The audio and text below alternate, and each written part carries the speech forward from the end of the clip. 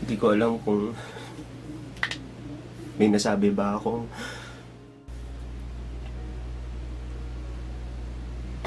Sorry guys ah. Eh, syempre, nandiyan si Kuya Nelson eh. Ayoko naman ipakita sa kanya na nababatrip na ako.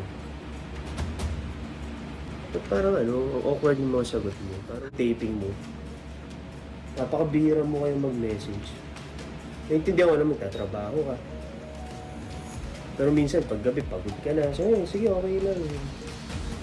Hanggang sa mga second week, third week, parang nasanay na ako. Sabi ko, okay naman pala yung ganito.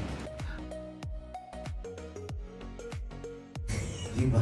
Thank you so much, Tito. Kumanda ka ngayon, pero kumusta yung puso mo? Maganda ba? Mas masaya? Kasi, Napakasaya. ah, okay. Kasi recently na parang may lumabas na sa social media na may ganitang Jack Be No More. Jack? Pwede pa-clear na lang yun. Alin? Ano? Yun nga daw, Jack Be No More na raw. Ano ibig sabihin? Break na raw. break na nga kayo. Break na kami? Jack. Oh. Diyos ko, tatawagan ko. Hindi kasi namin alam. Ay, hindi kayo aware. Oo. I-inform na siya para alam niya. Talaga ba? Meron na na naman? oo. Ay, May lumabas ngayon na gano'n. Ah, na naku. So, fake news yun. Last time I checked, wala naman nababanggit sa akin si Jack. Oo, magkasama kami kanina. Wala naman ako. Break na naman kami. Nag-break na kami dati ilang, ah. parang ilang beses. Parang, gano'n. nga. Parang gusto nila mag...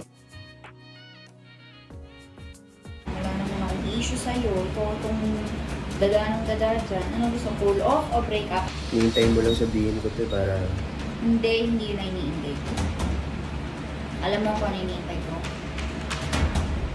Ano, Tumulo yung luha mo.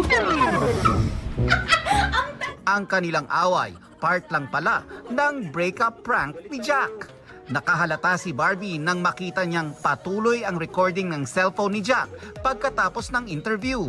At may hidden camera pa. Sige nga, kung hindi nga to prank, patayin mo nga yung record na yun. Ay, hindi ko pala napat- ilaw. Tsaka ano yun? Ano yung camera ko? Hindi naman, walang angulo talaga. Second cam.